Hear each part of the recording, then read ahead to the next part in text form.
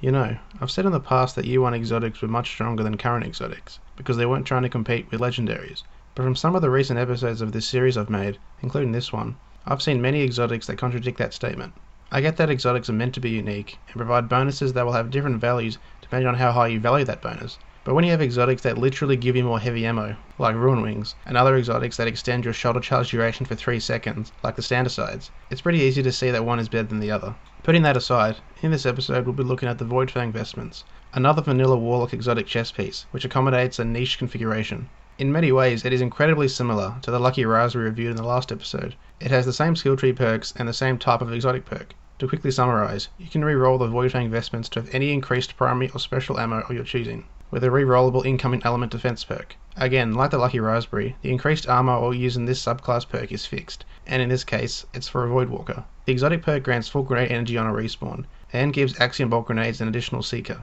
This exotic is definitely optimized for a Voidwalker, given its perks, but since the ability to respawn with grenade energy is subclass neutral, let's briefly consider the other subclasses for potential loadouts. I've mentioned previously that Stormcallers don't have the best grenades, so to dedicate an exotic that is only half effective for this subclass, I'll give it a pass. For Sunsingers, respawning with grenades is nice, especially since you can spec for two of any grenades, with the Gift of the Sun perk. But since Fireball grenades aren't what they used to be, and there are multiple exotics that are Sunsinger specific and work directly with grenades, being the Sunbreakers and the Starfire Protocol, I'd also give Sunsinger a miss for the Voidfang Vestments.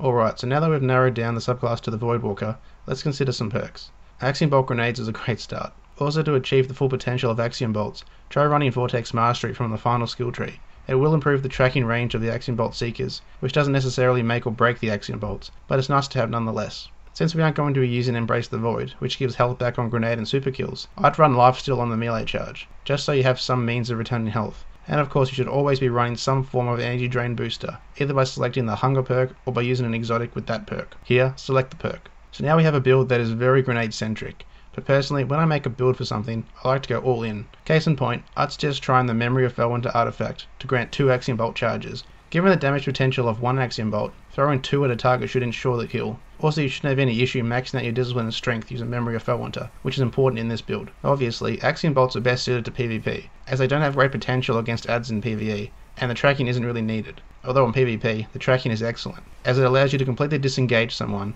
lob a grenade near them, and let it do the work for you.